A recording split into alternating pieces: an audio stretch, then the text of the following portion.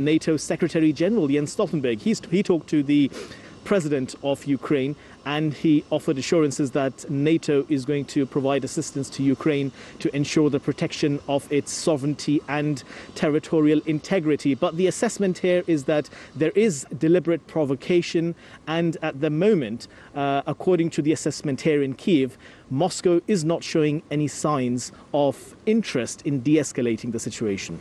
Hassan, how does Ukraine intend to deal with this uh, escalation?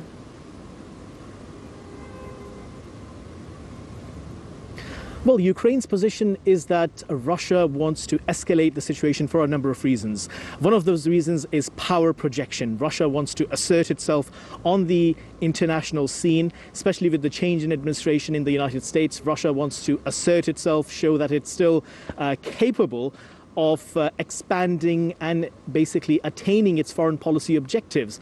Uh, also, another assessment here is that with the upcoming parliamentary elections in Russia in September this year, uh, Russia, of course, wants to gain, uh, to make those domestic gains, and this is why it's going to escalate the situation. Now, uh, Kiev says Moscow wants to escalate. It's resorting to provocation. For example, one official I talked to earlier said that uh, Russia backed separatists have been sniping uh, Ukrainian soldiers uh, who are under instructions not to respond. So Ukraine's undeclared position, it seems, Rachel, is that it's not going to respond to any acts of aggression. It's going to try and use uh, political means. And of course, we've heard earlier from Ukrainian president, he said that one way to send out a strong signal to Moscow would be to ensure that Ukraine becomes a member of NATO as soon as possible.